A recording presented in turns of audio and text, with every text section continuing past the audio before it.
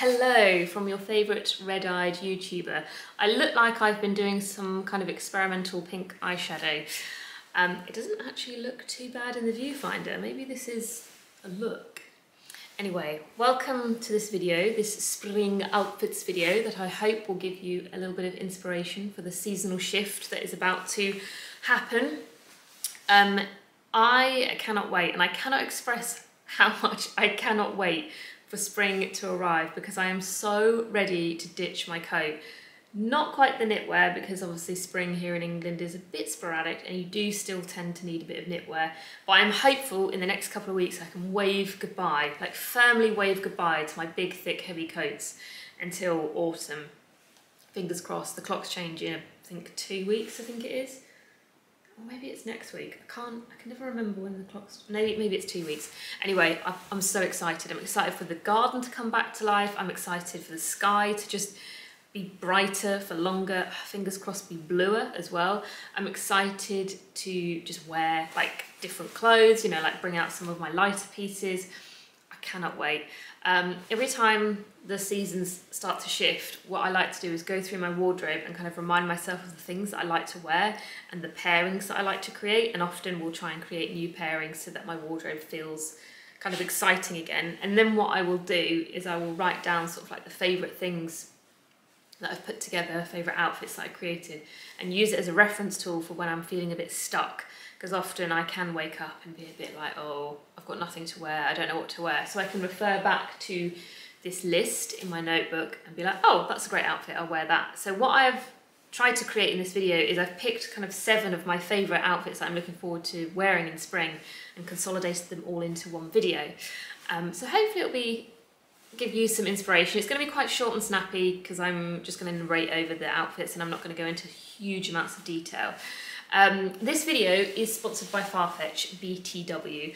If you have been watching my videos for a while, or you, you know, you watch my videos regularly, you will know that I work with Farfetch quite often. Um, I've been working with them for over a year now, actually. Yeah, maybe even coming up to two years, I think, possibly.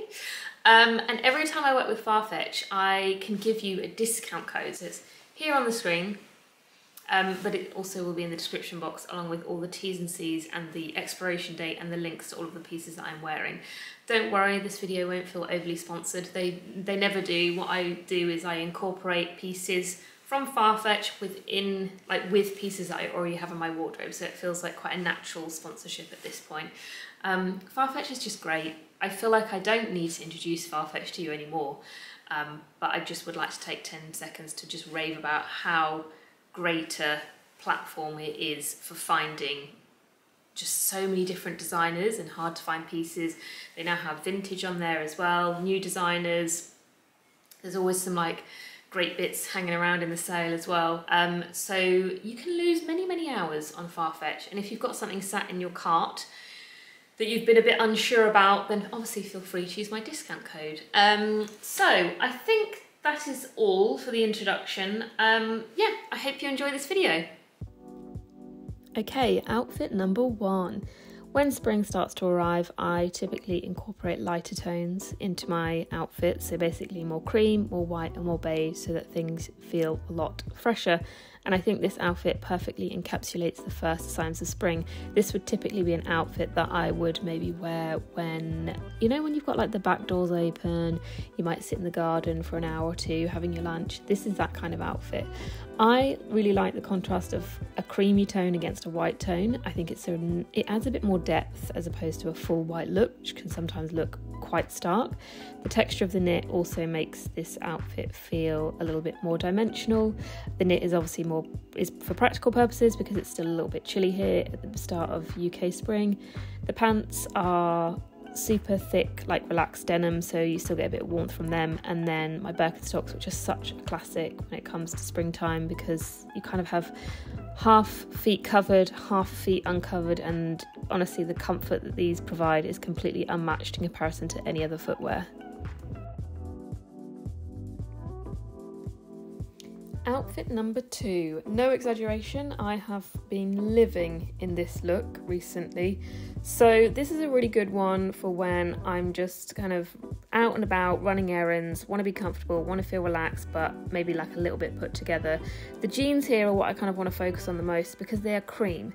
So, there's something about cream and navy versus cream and white that feels a little bit more relaxed. Don't get me wrong, navy and white I absolutely love, and you'll see that in the next look.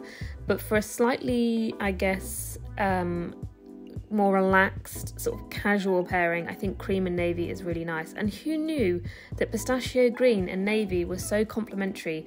We've got the Birks on again because, well, they don't really need much raving about. They're so damn comfortable. But yeah, um, and the blazer here, it kind of just makes it feel a little bit smarter because we all know that I can't do fully, fully casual. I always like to have a small, smart element within my outfit somewhere. But yeah, absolutely love this. Navy, cream, and pistachio green. What a combo.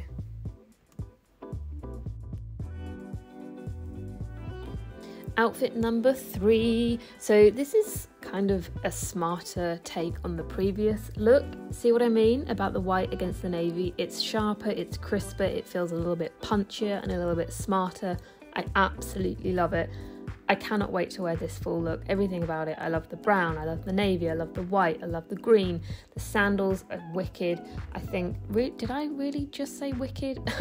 I think the green bag kind of creates it kind of just adds a little bit of a contemporary a bit of interest to it because there are some very classic elements here you know the navy blazer the white pants. It could be borderline sort of like classic old man kind of look but i think i've managed to just claw it back a little bit. Yep absolutely love this look. Just imagine it with a pair of like tortoiseshell ray bans um, and yeah, good to go. I think this is going to be a very, very um, heavily repeated look this spring. Outfit number four. I think, in terms of the proportion and the silhouette, this outfit won't be to everyone's taste, but I think most of us all know by now that I don't particularly dress to flatter my body. Um, I like big, boxy silhouettes, and looking at this now, actually, I love how large and oversized and slouchy the jeans look in contrast to the small loafers and the slim fitting t shirt. Um, I have become a little bit hyper fixated on neck scarves, I must admit. They are a great way to transform what could potentially be quite a simple outfit. I know this is nothing new, but it is a kind of new accessory that I've started playing around with in my wardrobe. Um, this is me adding a leather jacket. You'll see what I mean here about the big boxy silhouettes, kind of just creating one big boxy shape. But I don't mind that. I really love the neck scarf with the leather jacket. I think this is um, a, a, chic, interesting take on a black and white look. Here's me just showing you a little bit of the jean detail because they've got a sort of fold uh, detail at the waist, which makes them look extra sort of oversized and baggy. Um, yeah, I really like this look. I feel it's a little bit different to my usual style, but um, it still feels quite me. I think it just feels like um, a slightly more fashiony version of me, if that makes sense. Outfit number five. I think I'm entering a green phase. I was going for a blue phase, which I still absolutely love, but I'm feeling a bit of green is coming into the wardrobe increasingly at the moment. This outfit is like my kind of grey greyish, cloudy spring day outfit. You know, when the weather's just a bit meh and you just want some light layers that you can easily remove and add depending on what happens with the weather. Um, it's a very simple, kind of basic look, um, but I think the, the green on green kind of just makes it a little bit more interesting. And I've added the Tabi boots, which I think is always a nice, subtle. Um, kind of point of interest and could probably add a neck scarf, maybe. Not sure. Could work. But yeah, this is me just faffing around a little bit, putting my hands in my pockets. Um, just what else can I say? Good cardigan, some nice straight black jeans, a mid heeled boot. Uh, good to go.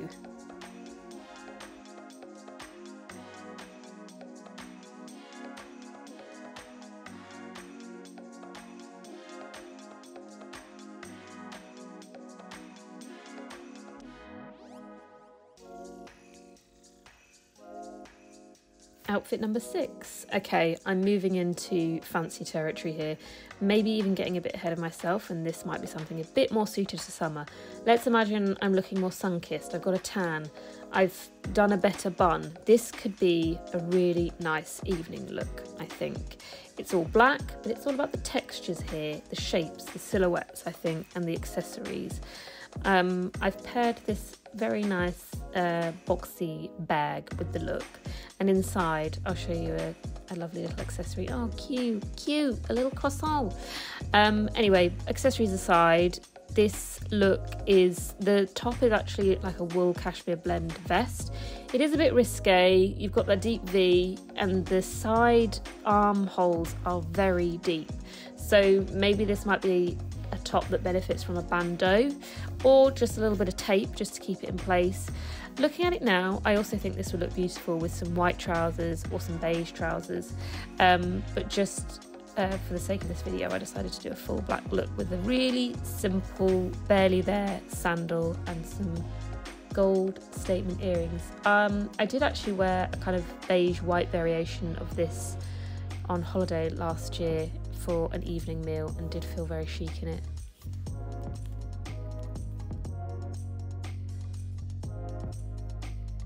And then for my final look, look number seven, I think we can all agree this is a much more spring appropriate evening look um, as opposed to the previous look.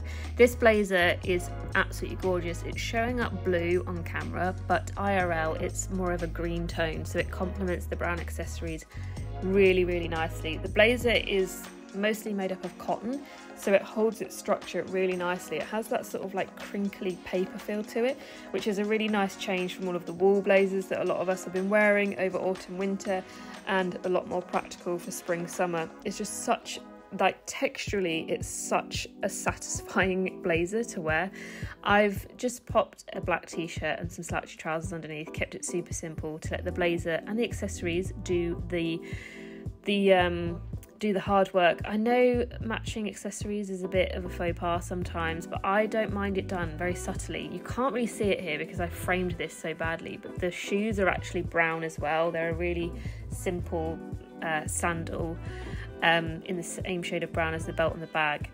Um, but yeah, I think this would also actually be a really good. So it's a good evening one, but I actually think it would work quite well for like meet like day meetings. Could just maybe swap the shoe for something closed toe. Um, yeah. Anyway, I'm gonna wrap this up here. Thank you so much for watching. I hope you've enjoyed these seven looks, and I can't wait to wear these seven looks outside in real life. Thank you so much for watching.